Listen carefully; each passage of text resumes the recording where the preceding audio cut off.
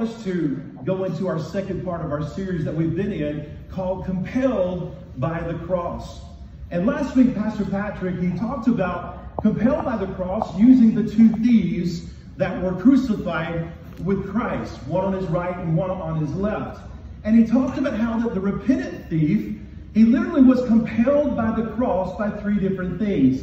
Number one, he was compelled by the fear of God. Number two, the mercy of God. And number three, the grace of God. And so this morning, what we're going to do is we're going to talk about some other characters in the Bible, and they too were compelled by the cross. And we're going to talk about Peter and the disciples. Today we're going to be in the book of John, chapter 21. So if you want to follow along with me this morning, please uh, do, the, do that with me. So I want you to go ahead, if you have your sermon outline, your notes with you, we're going to go ahead and fill out the very first line, if you will. And it says, Jesus reveals himself to his disciples.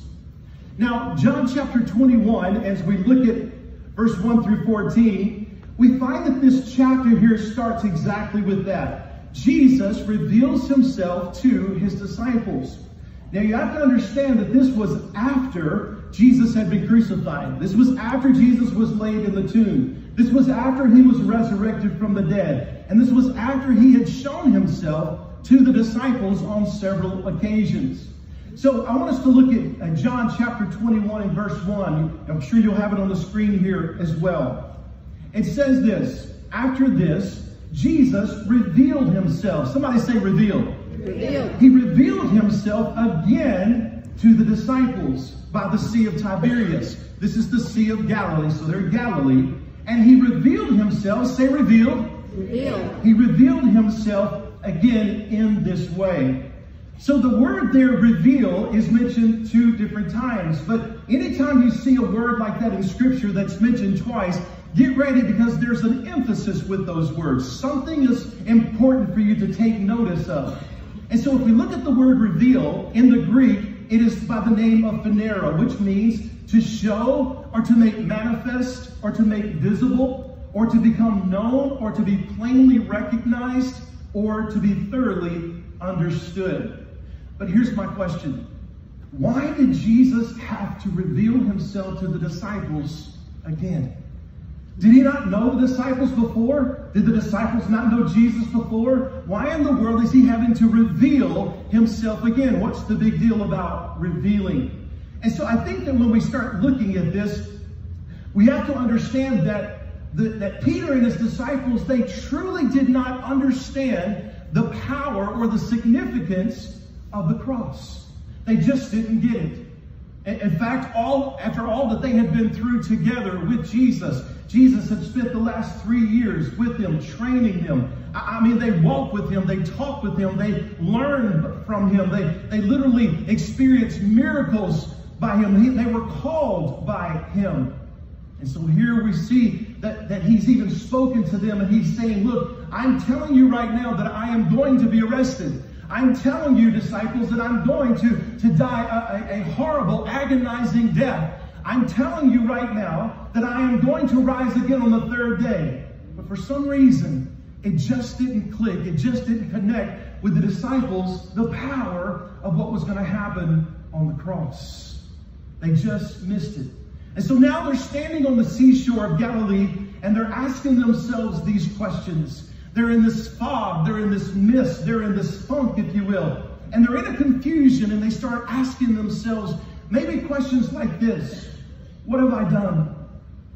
What were those three years of my life all about anyway? Where is Jesus now?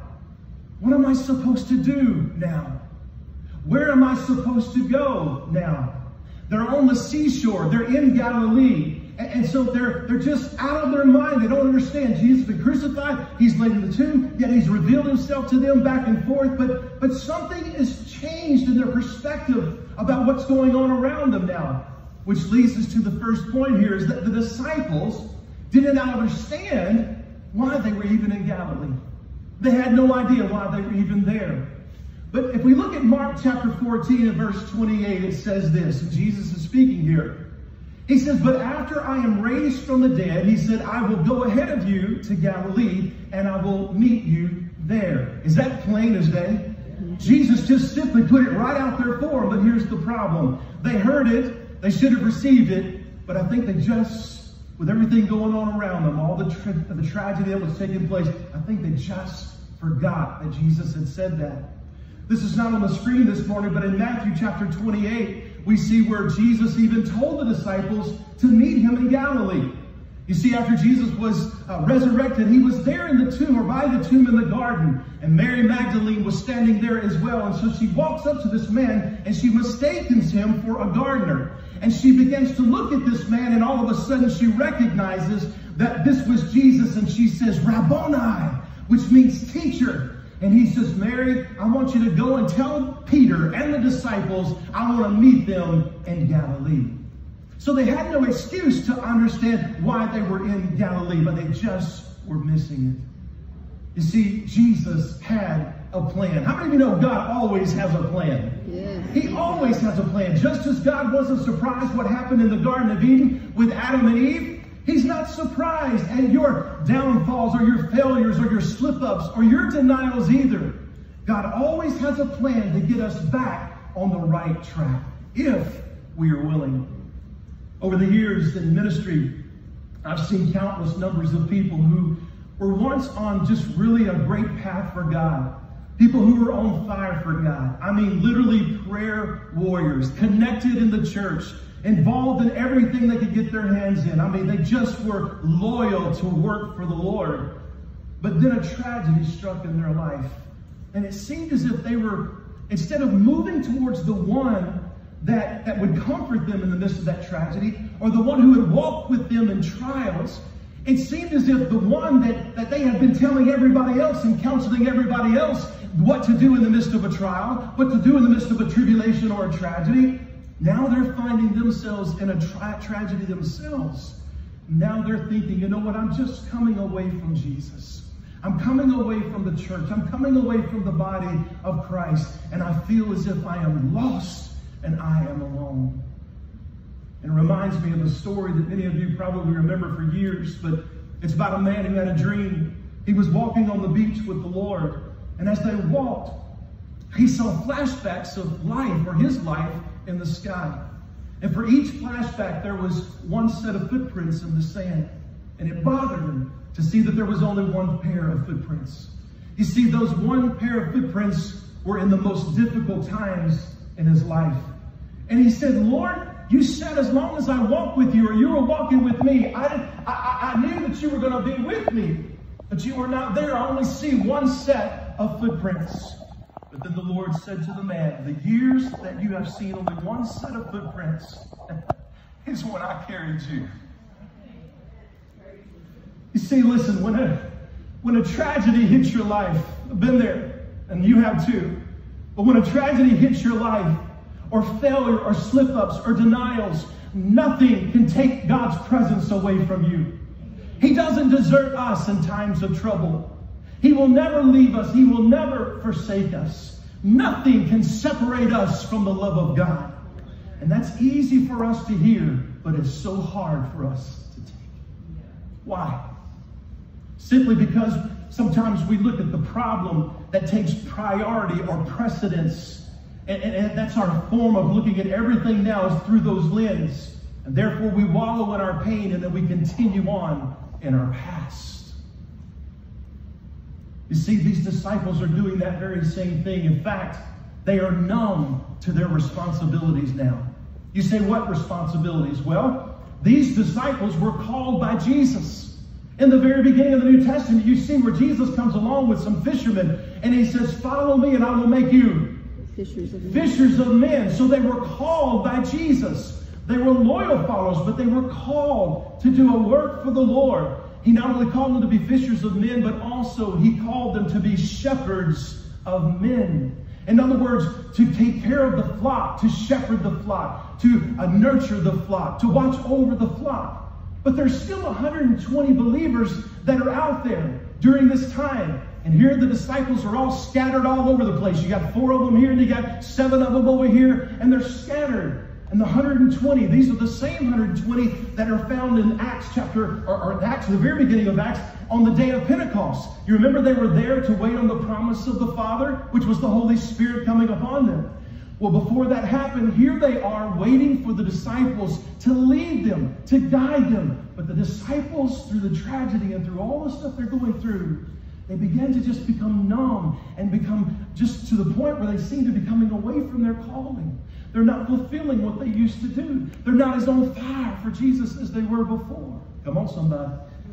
Tragedy hits your life and something changes in us. Something happens.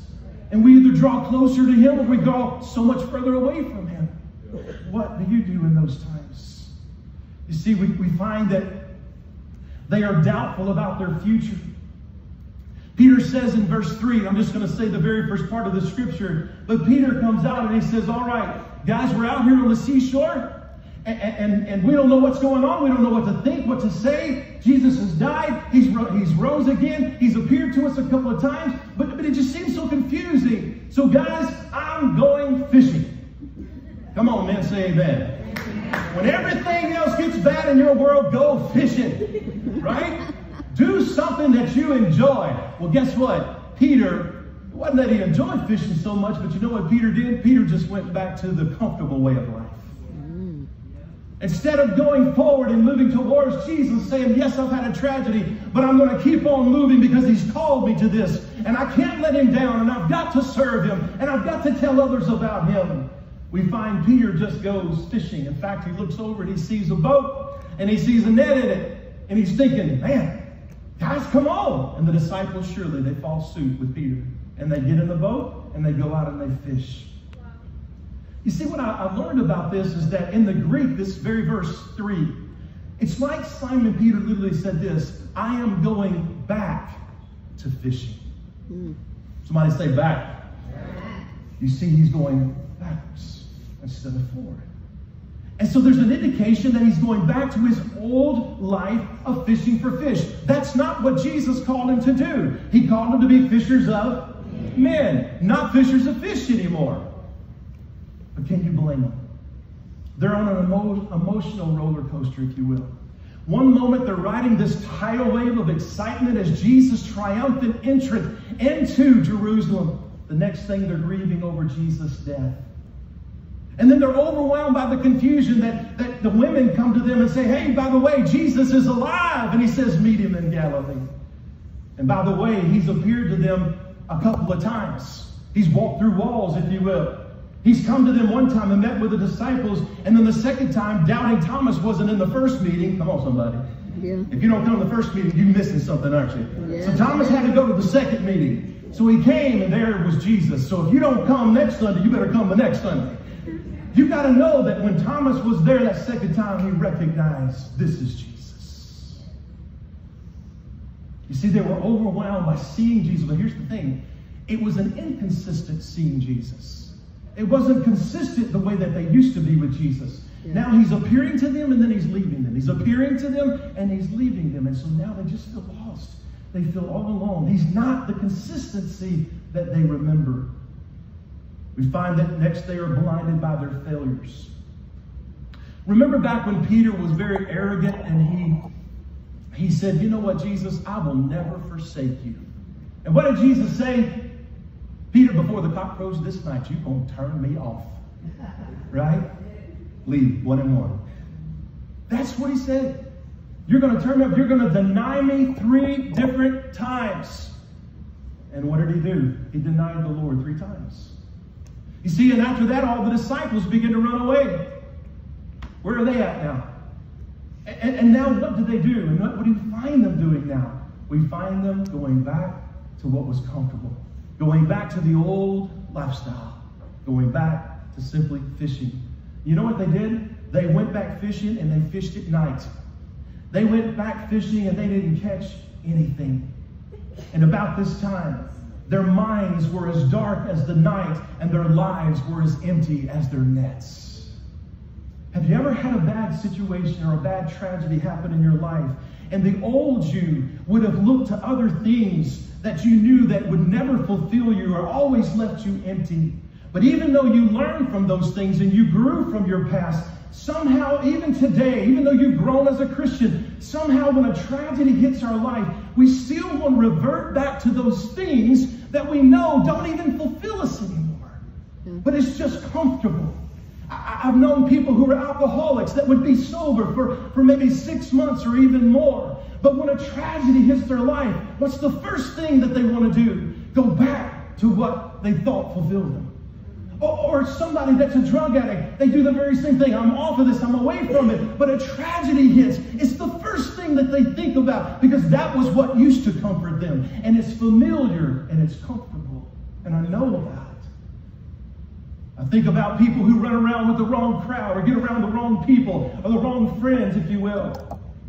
It's the same situation here. Think about who you're running around with, and when a tragedy hits your life, those are not the people you want to run back to. Somebody say amen. amen. That's not the people you want to go to. You want to go to the people who are going to encourage you and help you to get through the battle. I'm sorry I'm spitting on the front row. Get a little sip of water, Tony. Here we go. That's holy water coming out, Joe. Listen, we look at verse 4. Let's take a look at this. Jesus shows up, and the disciples don't recognize him. Verse 4 says this Just as the day was breaking, Jesus stood on the shore. Yet the disciples did not know that it was Jesus. So often we live our lives in condemnation because of our past faults and our past failures and our flaws and our mess ups and our screw ups. And then Jesus shows up at a moment in our lives and he says, I love you. I want you to know that I'm here for you right now. I'm, I'm, I'm, I'm wanting to show my grace towards you and my mercy towards you. And he's saying, It is I, guys. I'm here. It's me. But because we cannot forgive ourselves of our past, we don't recognize his presence or even think that he can forgive us of our past. It's good.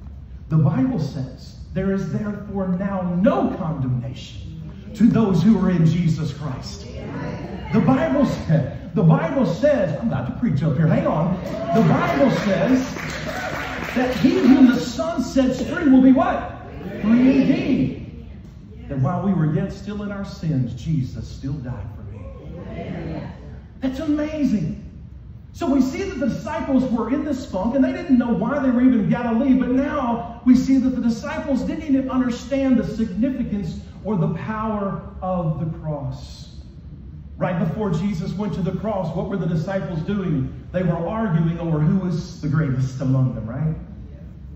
Their, their literally their, their, their agendas had literally deafened their spiritual ears to Jesus' true message.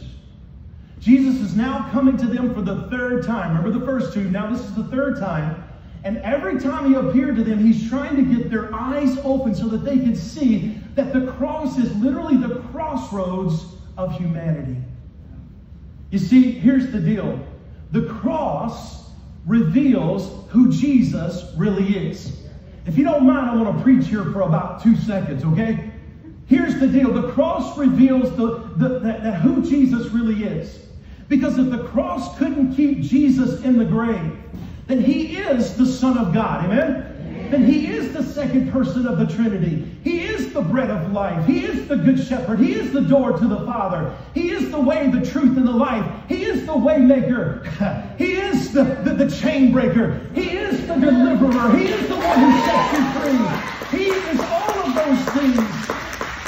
We recognize those things. Listen, He bore all those things that we have to endure here on this earth. He bore all of our sickness and our sin and our disease on the cross at Calvary. And through that sacrifice, I can be free. Yes. I think we ought to take five seconds and just praise Him. And just even praise if you understand what I mean by that. I want you to understand that the cross has power, but the disciples just didn't get it. And he's trying to reveal this to them. The cross reveals the validity of Jesus' true message. Jesus predicted his death and his burial and his resurrection. And if that impossible prediction came true, then that means that everything that is found in the Word of God, come on, somebody, it is true. If he said it, then it must be true. Because these things came to pass. The cross shows the depth of God's love. I think about these two ladies right here that got baptized this morning. I'm sitting there staring at them and I'm trying not to cry this morning. I'm trying. It's hard, Dolan, wherever Dolan is. I'm trying, brother. but the cross, the cross shows the depth of God's love. John 3:16. For God so loved Lee Smith. Amen. For God so loved Audrey Smith. See what I did there? For God so loved Caleb and Hannah. For God so loved Ginger. For God so loved Kathy. Yeah. For God so loved me. And he loved you. That he gave his only begotten son. Whoever believes in him should not perish, but have everlasting life. That is the depth of the meaning of the cross. That's what it should feel like. That clapping that you're doing, that ought to make you think, oh my God, I got to get to the cross. I need that, that depth of his love for me. Some people don't even know what true love is, and they're searching in all the wrong places. But when you come to the cross, there is love, everlasting love. The cross shows Jesus unlimited power. When Jesus healed the sick, he showed his power over disease. When he claimed the or when he uh, uh calmed the storm, he showed his power over nature. When he fed the 5,000, he declared his power over poverty. And the cross declared simply his ultimate power over death, hell, sin, and the grave. 1 Corinthians 15 55. It says this, O death, where is your sting? O grave, where is your victory? Yeah. And it goes on to say, Your victory is found in the Lord Jesus Christ. Yeah. Romans 3 and verse 23, it says, For the wages of sin is, but the gift of God is eternal life through Jesus Christ our Lord. When Jesus died on the cross, when he rose again on the third day, he conquered death, hell, sin, and the grave. He did it all on the cross. The cross reveals his love. Lastly, Jesus not only revealed himself to his disciples, fill in the blank here, Jesus restores his disciples. Pastor Tom and I talked last week, and, and apparently he and I have the, uh, the same kind of liking to a certain program that you find on some of the cable shows, and, and it's called Restoration or Kings of Restoration, but there's different programs. And I absolutely love, Josh, I love when something is old and it becomes new. When, when something is just in a graveyard, if you will, or a junkyard, and an old car or something, and, and I just look at it and I think there's no way this guy's going to take that old car and turn it around make it look good. And all of a sudden you see it on that program, and you know it took them only one day to do it. Right, that's television for you. So here we go. He takes this car and he restores it and makes it look like new. I love when they take like an old gas pump or something, you know, from a long time ago, and it's all rusted out, you know, and some of the parts are missing on it, but they take that and they restore it, put the right parts in there, and now it's working and it looks beautiful. I'm a motorcycle guy, so I love when they take the motorcycles. Come on, somebody. I love motorcycles. I love it when they take those and they just, it looks like it ain't never going to ride again. It ain't going to roll nowhere. But they take that motorcycle and they restore it, and it's a beautiful looking thing. Do you know that's what the disciples needed right now? They needed to be restored. Did you know that the Bible says that Jesus is the potter and we are the clay? Did you know that when a potter takes some clay and, and, he places that clay on this round wheel, well, that, that, that, that wheel there in the middle of that, it, is literally the center of that rock, right? So you take that, that clay, he places it in the center of that rock, and what he does, he puts his hands around it and he begins to shape it and begins to mold that clay, right? You've seen some beautiful vessels that have come out of that. So as he's molding that and he comes up, well, all of a sudden it starts breaking apart, and some areas are not exactly what the potter really wants it to look like. So it starts to crumble. But here's the thing the potter never throws away the clay. Oh, I don't even, are you here this morning? He doesn't throw away the clay. He takes the same lump of clay, begins to mold it in his hands again, puts it right back on the center of that rock, and he turns that wheel, and all of a sudden he starts making it again into this beautiful vessel. He adds a little water, just like the Holy Spirit, when he's added to your life, you start getting straightened out a little bit. And so the Holy Spirit is now added, and that vessel begins to make its way up, and now it's got a little hook on the side where you can carry it around. Come on, Mama, we can pour out some water. And so you got this beautiful vessel that in the beginning looked like all it needed to do was just be in a graveyard somewhere. It just needed to be of no use anymore. How many of you know the disciples needed to know they were useful again? They just felt like they were not of any use anymore. And there's some of you sitting here this morning, you probably have felt in your own life, maybe you're there this morning, I just don't know if God can use me anymore. I just don't know if He wants to use me because of all the junk that I've got in my trunk. Come on, somebody. I don't know if he can use me, but I want you to know God wants to be in the midst of your pain. He wants to be right where you are, and he wants to mold you and shape you into his image and be exactly like he is. He will not throw you away. So when you think you're wanting to throw yourself away, he's going to come in the garbage and get you. He's coming after you. Oh, this is good stuff. Jesus. The next fill in the blank is, is how does he do this? He res- or he refreshes their faith. Yes. He refreshes their faith. How does he do this? Number one, he does this with his presence. Jesus personally now goes to his disciples and he meets them right where they are. Right in their brokenness, right in their heartache, right in their confusion, right in their doubt, right in their anxiety, right in their fear. He meets them right where they are. And I want you to know this morning that Jesus wants to meet you right where you are. You don't have to be in a church service for Jesus to meet you. You don't, that doesn't mean you don't come to church. That's right. Just want to get that straight. He will meet you. It doesn't have to be in a church. It doesn't have to be on a first Wednesday service. It doesn't have to be on a Capel night. It doesn't have to be in a revival tent meeting. It doesn't have to be there. How many of you know that Jesus will meet you in your car? Jesus will meet you at the food distribution. Yeah. Jesus will meet you anywhere, in the shower, wherever, by your bedside. Jesus wants to meet you right where you are. Here's the thing Jesus wants to meet you before the storm, in the midst of the storm, and after the storm. He wants to be with you the whole entire way.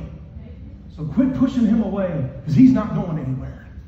He loves you and he's got a, he's got a plan for your life. Remember, we talked about that already. If you're willing. Second thing we see is he refreshes their faith with his words. You see, he didn't need to, to scream and yell at them like I'm doing at you guys this morning. He didn't need to, to go to Peter and say, Peter, what's your problem? Why did you deny me? Come on, you were with me for three years. I taught you better than that. Peter, what are you doing? Why are you out here fishing for fish? What's your problem, Peter? Peter didn't need that. John, what's the deal? You've been laying up all on my breast telling me you love me, telling me how wonderful I am. John, you ran off and left me in a time of need. He didn't do that. Why? Because they didn't need that. They were already defeated. They were already feeling down. They were already feeling like everything is over. It's done. There's no use anymore. Maybe you're here this morning and the world is yelling at you. Maybe your spouse is yelling at you. Maybe your children are yelling at you. Maybe your boss or your job is yelling at you. And everybody's yelling at you. But I know a Jesus who can speak to the noises of this world and he speaks to it and he says, Peace be still. And the winds and the waves obey his will. All the mess that we hear all around us that's trying to vie for our attention and move us this way and that way, Jesus says, You just be still. And you watch me work. In verse 5, he uses a term of endearment here. Listen to the encouragement. He says, Children, do you have any fish? He could say children or boys or friends, but it was a term of endearment. He was saying to them, I love you. I have a deep love for you guys. They failed again. You say, what do you mean they failed again? Yeah, they, they failed on the seashore. They went back to fishing for fish. Jesus didn't tell them to do that, so they failed again. So what do they need right now? They need to know that apart from Jesus, they can do nothing. You see, I don't know if you realize this or not, but every time the disciples got a whole bunch of fish in their boat or in their net, did you know Jesus was there? Did you know that when they fished without Jesus, they didn't catch anything? Wow. Apart from Jesus, you can do nothing. And then we see they, that their faith was refreshed with his love. You see, there was a miracle catch that took place. Let's look at verse 6 very quickly. Verse 6 says, He said to them, Cast the net on the right side of the boat, and you will find some. They're out there fishing. They haven't caught anything. They've been fishing all night long with nothing in their nets. And what he's doing here is he's showing them that he loves them. He's showing them, I forgive you. I want you to know that maybe you abandoned me, maybe you failed me, but I want you to know I love you. He's saying, let's start fresh. Let's start again. I don't know about you this morning, but simply this. I fail Jesus every day. But I'm grateful that his mercies are new every morning. When I wake up tomorrow morning, he's right there. I'm sorry, Lord. Oh, I got you. it's never a morning that I wake up that he's not right there by me. They needed to know that. They needed to know he's not only there and he's going to disappear again, but he's there. He's not going anywhere. And I love this part. Now we see in verse 7 that the disciples' eyes are beginning to be opened. Now the cross is beginning to become more, more available to their mind. It's understanding more about it now. Verse 7. That disciple whom Jesus loved, therefore said to Peter. Now, the disciple Jesus loved, or it says here in the scripture, that's John that we're talking about here. So John goes over to Peter and says, Peter, it's the Lord. Now, you've read about Peter. Can you imagine Peter? Shut up. Peter was always speaking his mind, wasn't he? Sticking his foot in his mouth. He was always doing that. But John's saying, no, no, no, no, no, no, no. I heard that voice. I don't even know when you've met Jesus, you know his voice now.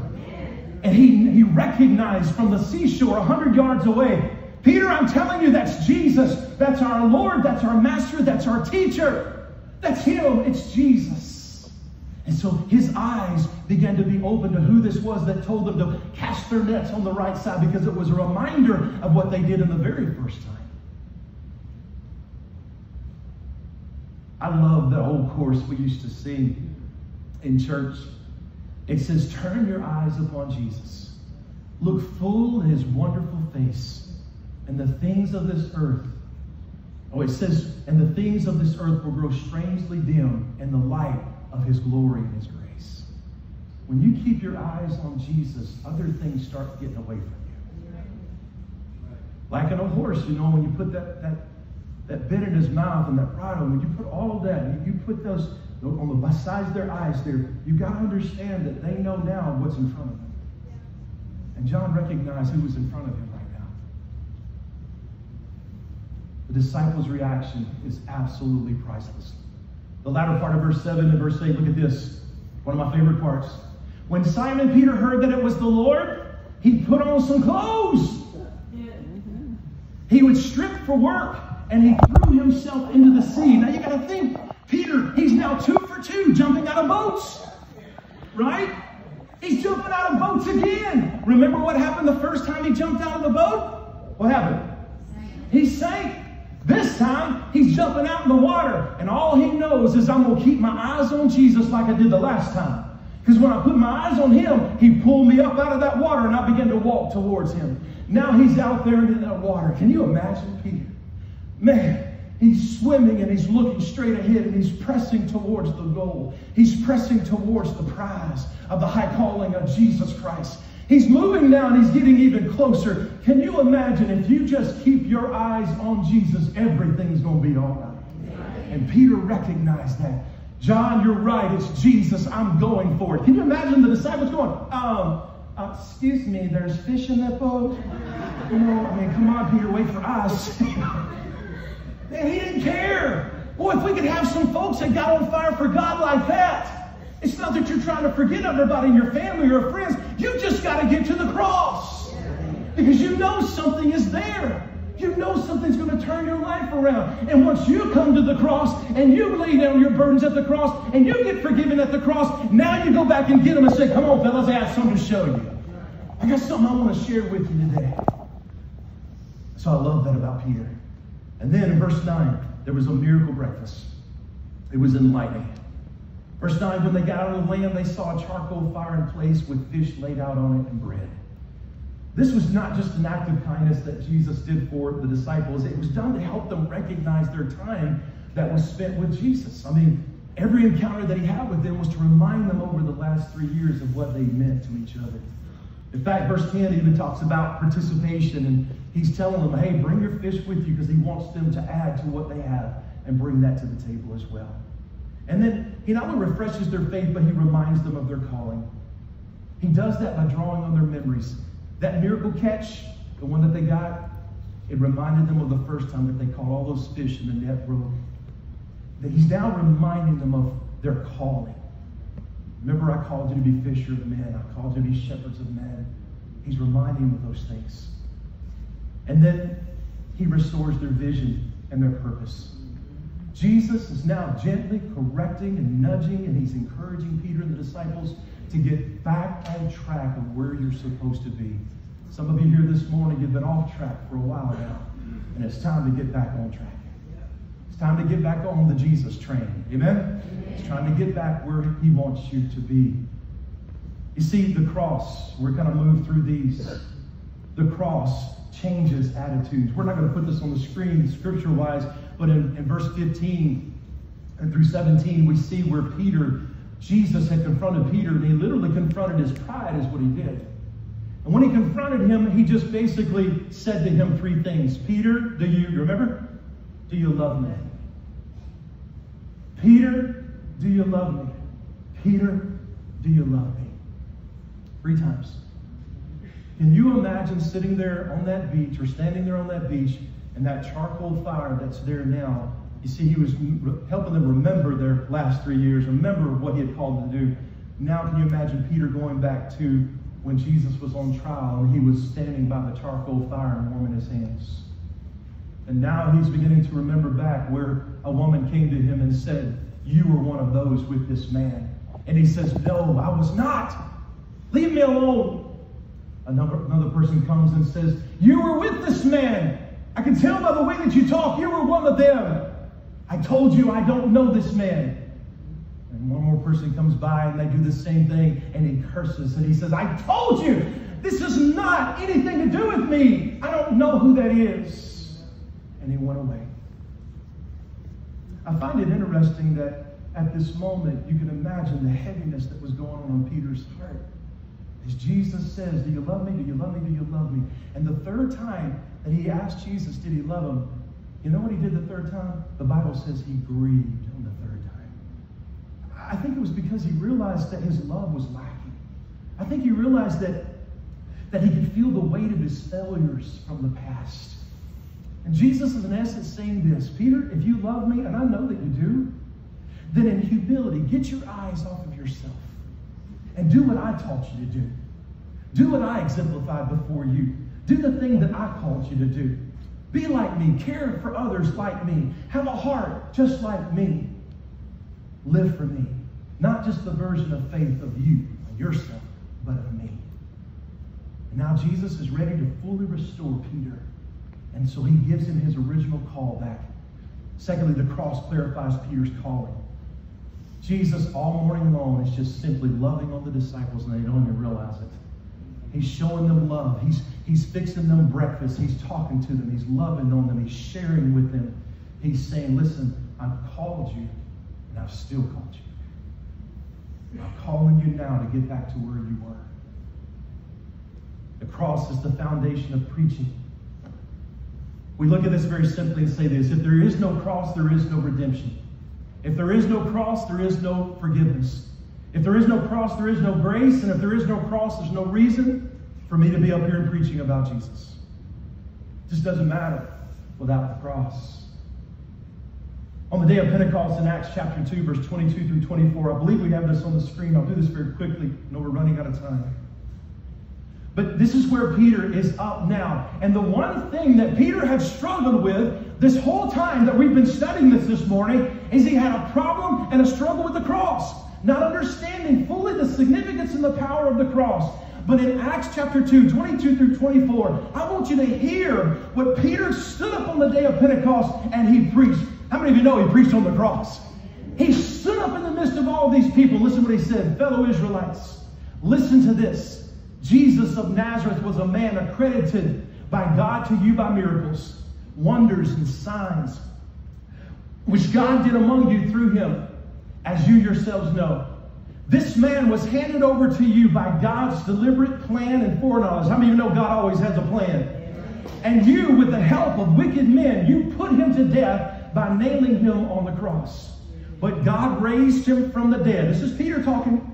But God raised him from the dead, freeing him from the agony of death, because it was impossible for death to keep its hold on him. Peter preached on the cross. And guess what happened?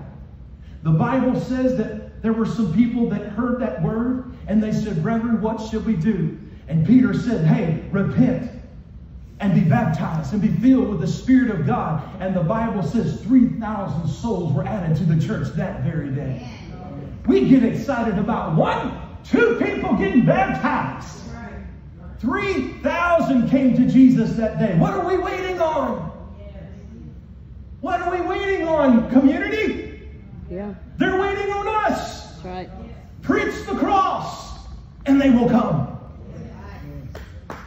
We need to preach the message of the cross. Yep. After he preached, what a powerful, powerful display of God's glory.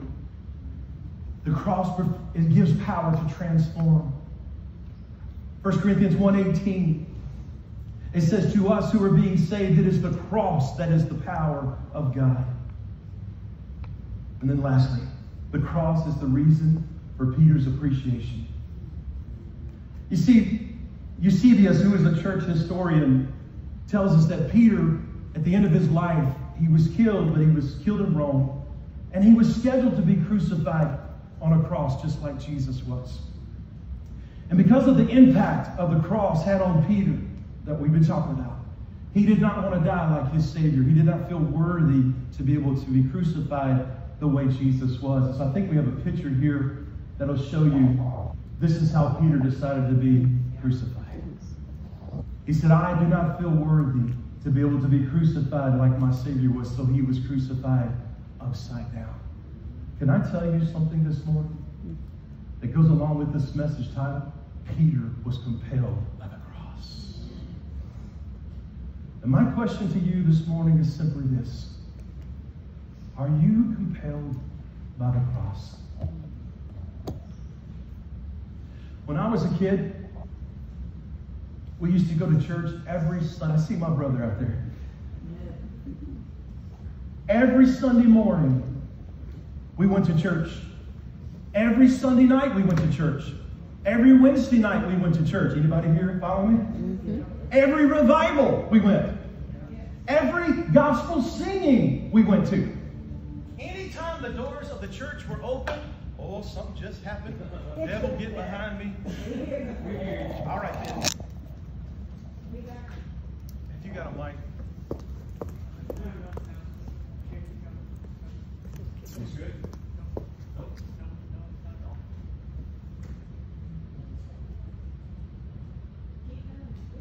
So, oh, Do you hear me? I'm just going to talk loud. We went to church Sunday morning, Sunday night, Wednesday night, revival meetings. Anytime the doors of the church were open, we were there. And we would sing songs all the time about the cross. We would sing at the cross, near the cross. the old rugged cross. When I survey the wondrous cross, we would sing them all. And there were even more that I can't even imagine. Here we are, singing about the cross. But here was my problem. I just saw the cross. I just heard about the cross. I just sang about the cross. I just knew about the cross. But I had never come to the cross. You can come to church all you want, sing all the worship songs you want, but without the cross, you have nothing. One day I finally realized that there was a meaning to the cross. And I remember I found out who died on the cross. And I found out why he died on the cross. And I, and I began to realize that he died on the cross for me. And it was at that moment that I was like Peter. I made a beeline to the cross. And I went down and I knelt down and I laid my burdens and I laid my guilt and I laid my shame and I laid my old friends, and I laid everything in my past, all of those things. I laid them at the foot of the cross. You know what happened? His blood that was shed washed away all my sins.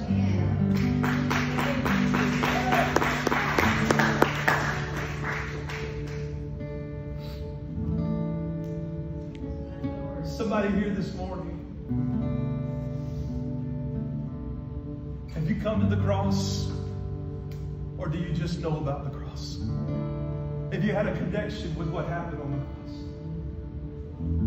I want you to know this morning that this is a great opportunity for you to make a beeline to it. I want to ask a couple of our prayer team members, if you would, come. And I want you to stand, just a couple of you on this side, maybe a couple over here on this side. Just come close the cross, if you would. Audrey, I want you to come. Audrey is going to come and she's going to pray in just a moment. But here's what I want to ask you to do, and here's my plea to you this morning. If you truly not yet come to the cross, what are you waiting on? The cross is waiting for you. There's so much room, as the song says, at the foot of the cross. And I wonder right now, Audrey begins to pray in just a few moments, I wonder how many of you this morning would be willing to say, It's me, Pastor Lee. I have truly not come to an understanding of the power and the significance of the cross, but today I'm coming. I'm coming to get it right. I'm going to lay everything down at the cross this morning. These prayer teams are going to be waiting for you when you get here. If you want to wait till after the service is over with, when everybody's gone, you want to make your way up here, that's totally fine as well. I just have a feeling somebody can't wait. Somebody really is feeling like Peter right now, and they got to get to Jesus. Well, Jesus is waiting on you. He'll meet you, just like the prodigal father. He ran to meet his son, didn't he? he'll run to meet you. Would you stand with me?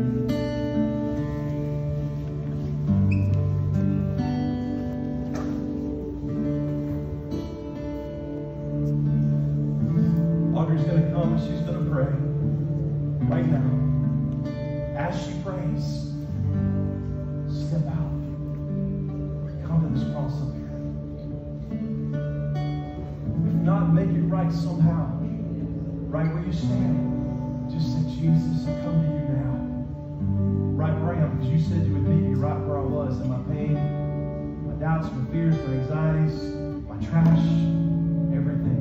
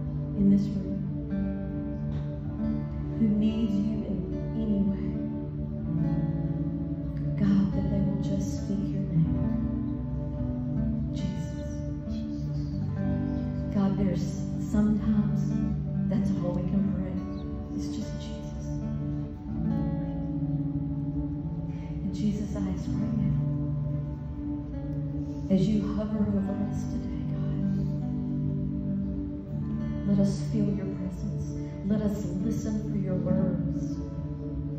God, speak peace into our hearts. God, speak conviction in our hearts. Show us where we are going through the motions. Show us where we are just knowing about you and not knowing you. God, give us a drive and a hunger, a thirst to know you more, to be with you more. God, I pray that for my own self.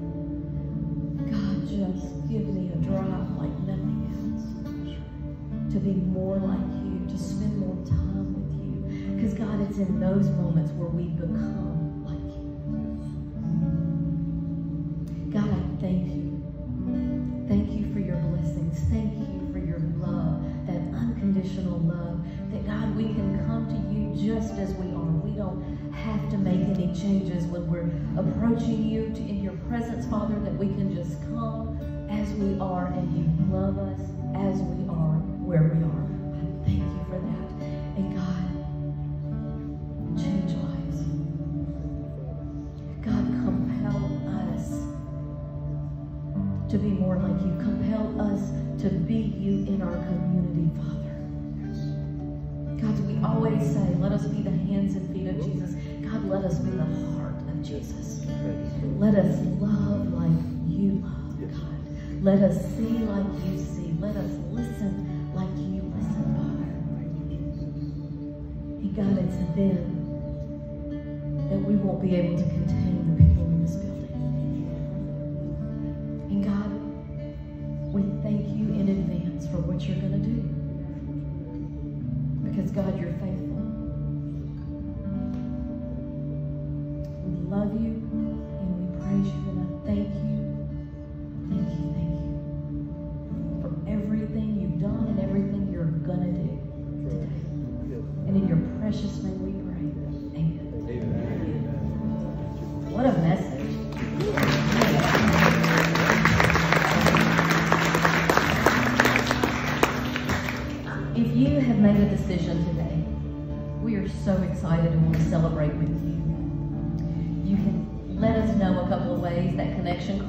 mentioned earlier, you can complete that and turn that into the info center. And also, Pastor Lee is going to be out front by the tent. He would love to meet you he would love to talk to you about your decision. And we celebrate that decision. Um, again, I want to challenge everyone. Bring somebody with you next week. I know it's spring break and I know there's a lot of people traveling and out today, but bring somebody with you. Be intentional. Ask somebody to come and then just uh, a couple of announcements. Let's see. I think that's it. I got them all without even looking at my cheat sheet, y'all. Um, so as we dismiss, remember we're still going to dismiss by section. So just um, pay attention to your ushers. They'll show you how to dismiss. Thank you. Have a wonderful day, and we'll see you next week.